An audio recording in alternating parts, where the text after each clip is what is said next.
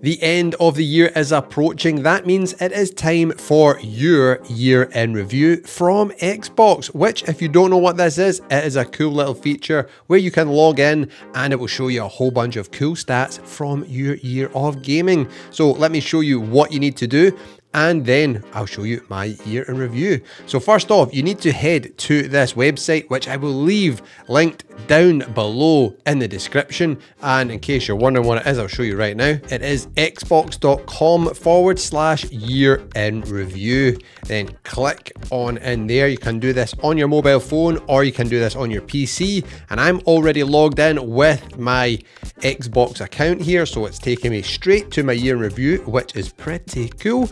And you can see here, total time 152 hours, plus 4,000 gamer score, 56 games, and 246 achievements. And my top gameplay month was January, funnily enough. I didn't expect that.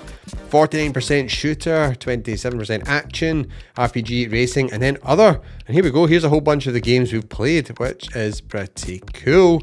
I like this. Here's how you stack up with other players. You're in the top 25% of players for hours played. You're in the top 5% of players for gamer score. And you're in the top 5% of players for achievements unlocked. And here we go. My number one most played game is Vampire Survivors. I'm actually not surprised about that. I do love Vampire Survivors. There we go.